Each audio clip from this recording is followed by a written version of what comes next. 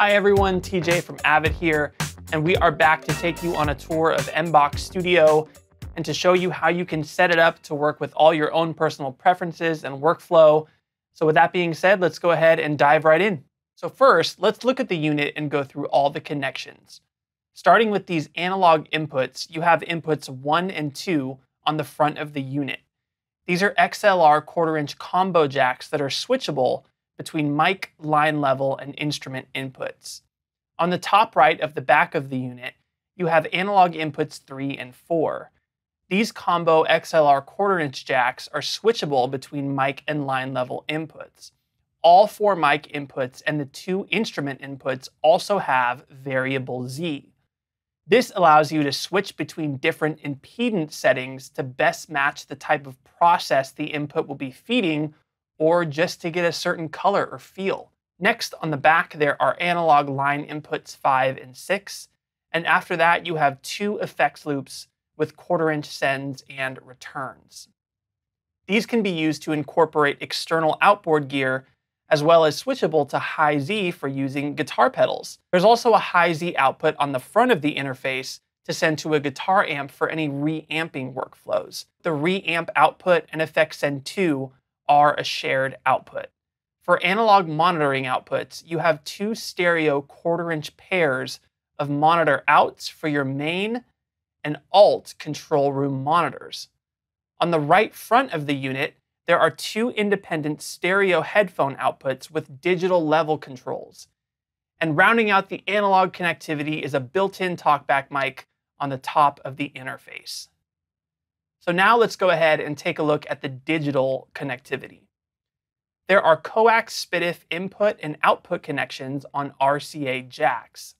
Next to those, you have optical input and output connections that can be switched between either optical SPDIF or ADAT formats.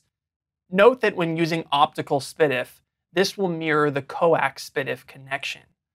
All this connectivity gives you access to a total of 21 inputs and 22 outputs, with eight internal software inputs that are accessible from Pro Tools or other computer software applications. Each of the hardware and software inputs have access to the MBox Studio's built-in effects and EQ, as well as a comprehensive mixer for flexible low latency monitoring during recording.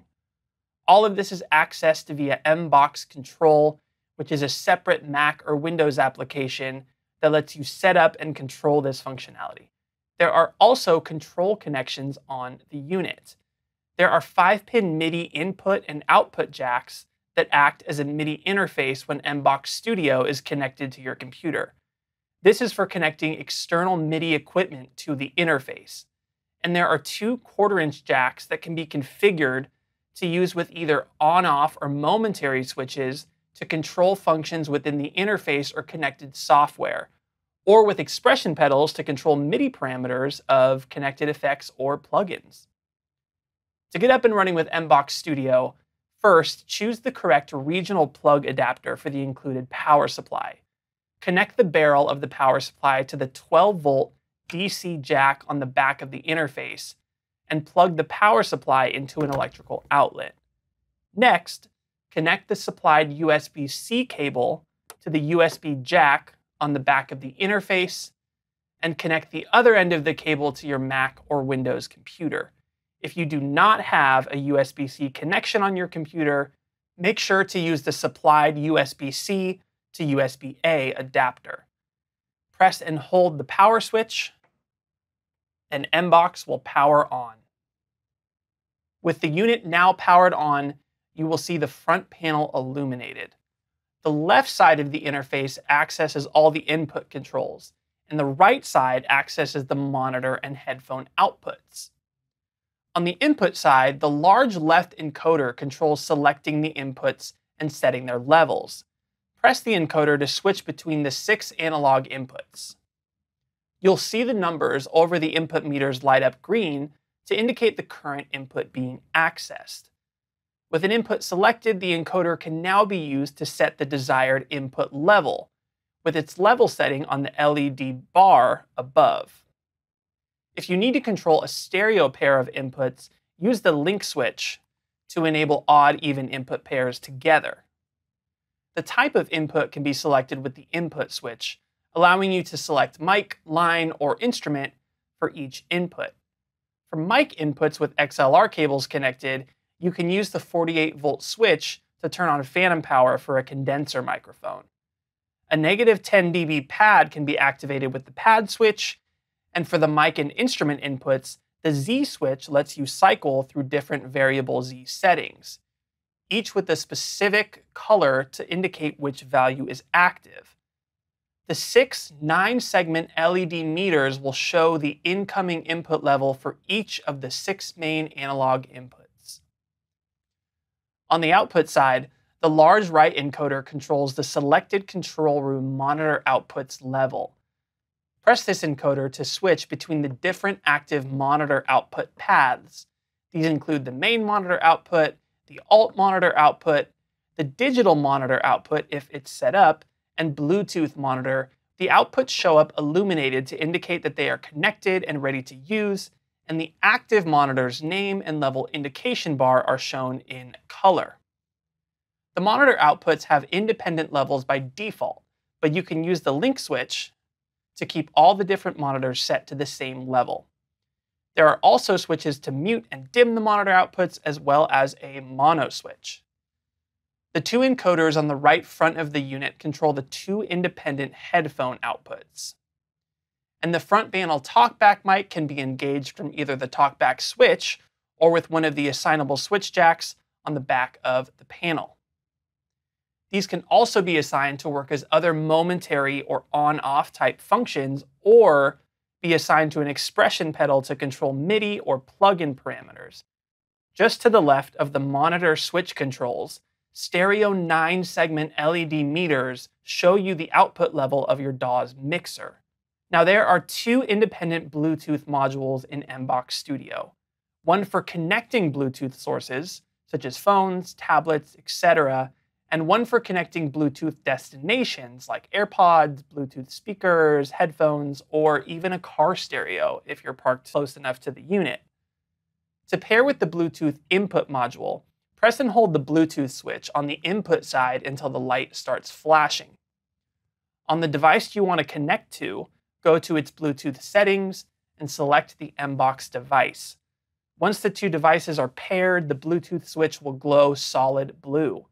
To pair a device with the Bluetooth output, press and hold the Bluetooth switch on the output side until the light starts flashing. Put your Bluetooth device into pairing mode, and the two devices should pair. Once the Bluetooth output has an active destination, Bluetooth becomes a selectable monitor output destination. The switch with the MBOX logo gives you access to the MBOX control software. Once the MBOX control software is installed on the connected computer, Pressing this switch will open and close the MBOX control software, giving you instant access to all the extra features and preferences of the interface. Below this switch is the Tune button that will give you access to the built-in tuner that can be used with either the two instrument inputs or the built-in talkback mic. The input meters will show the note of the input, and input level control meter shows if the note is sharp, flat, or in tune. And the four multicolored switches below the meters are user assignable action buttons that can access several different functions of the interface. With the interface now connected to the computer, open up Pro Tools. And from the Setup menu, open up Playback Engine. Under the Device section, click the Reveal triangle and select Avid MBOX Studio from the list of available audio interfaces for your computer.